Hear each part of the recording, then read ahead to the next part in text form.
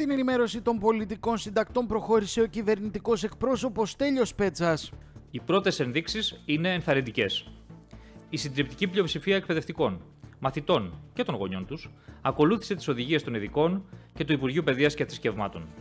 Τους ευχαριστούμε και συνεχίζουμε. Οι επόμενοι μήνες θα είναι δύσκολοι. Το πιστοποιεί η έκρηξη των ημερήσεων κρουσμάτων παντού στην Ευρώπη και στον κόσμο και στη γειτονιά μας. Η Γαλλία, μία από τις πιο ανεπτυγμένες χώρες της Ευρώπης, με σχεδόν επταπλάσιο πληθυσμό από την Ελλάδα, ξεπέρασε ακόμη και το όριο των 10.000 νέων κρουσμάτων του κορονοϊού ημερησίως. Συνολικά, 30.910 άνθρωποι έχουν χάσει τη ζωή τους από τον COVID-19 μετά την έναρξη της επιδημίας στη Γαλλία. Την ίδια στιγμή, το Ισραήλ προχωρά στην επιβολή νέου lockdown τριών εβδομάδων από τις 18 Σεπτεμβρίου έως και τις 9 Οκτωβρίου, με απαγόρευση κυκλοφορίας σε απόσταση πάνω από 500 μέτρα από τους τόπους κατοικίας, κλείσιμο των χώρων λατρείας και των σχολείων και άνοιγμα μόνο των απαραίτητων καταστημάτων. Παρακολουθούμε αυτές τις εξελίξεις διεθνώς. Ακούμε και εμπιστευόμαστε τους ειδικούς. Και είμαστε έτοιμοι να λάβουμε οποιοδήποτε μέτρο χρειαστεί, προκειμένου να διατηρηθεί η καλύτερη επιδημιολογική εικόνα που σταθερά παρουσιάζει η χώρα μας από την έναρξη της πανδημίας. Όσο αφορά τώρα την ομιλία και τη συνέντευξη τύπου του Πρωθυπουργού, τόσο το Σάββατο όσο και την Κυριακή, ανέπτυξε ο Πρωθυπουργός ένα ολοκληρωμένο σχέδιο για την ενίσχυση της άμυνας και της οικονομίας με 6 και 12 βήματα αντίστοιχα. Σε ό,τι αφορά την ενίσχυση της αποτρεπτικής δύναμης της πατρίδας μας, προωθούνται 6 πρωτοβουλίες που συνθέτουν ένα ρωμαλαίο πρόγραμμα που θα γίνει εθνική ασπίδα. Πρώτον, η πολεμική μας αεροπορία αποκτά μία μοίρα 18 μαχητικών αεροσκαφών Ραφάλ, τα πρώτα από τα οποία θα φτάσουν στα μέσα του 2021 και τα υπόλοιπα μέχρι τις αρχές του 2022. Δεύτερον, το πολεμικό μας ναυτικό ενισχύεται με την απόκτηση τεσσάρων καινούριων φρεγατών πολλαπλού ρόλου, καθώς και με την αναμόρφωση και τον επανεξοπλισμό τεσσάρων φρεγατών ΜΕΚΟ που ήδη διαθέτει.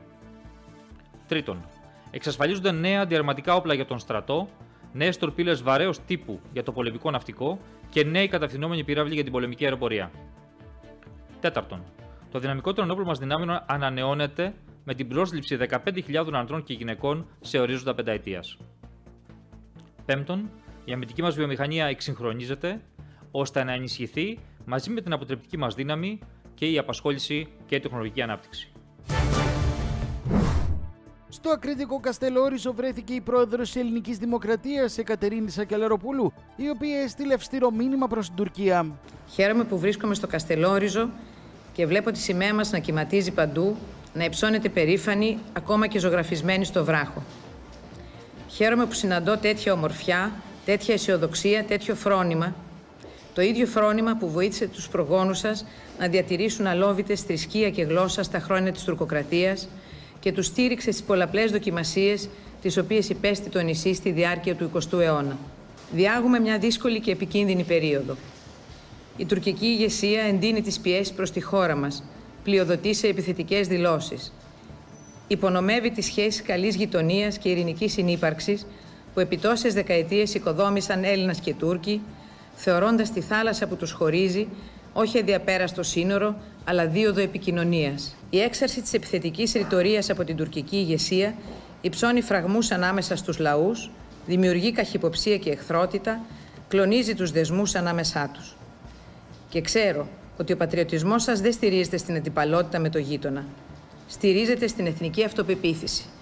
Το Καστελόριζο αποτελεί πολύτιμο κομμάτι της πατρίδας δεν έχει απλώς κορυφαία στρατηγική σημασία για τη διαμόρφωση και διεκδίκηση των δικαίων της Ελλάδας.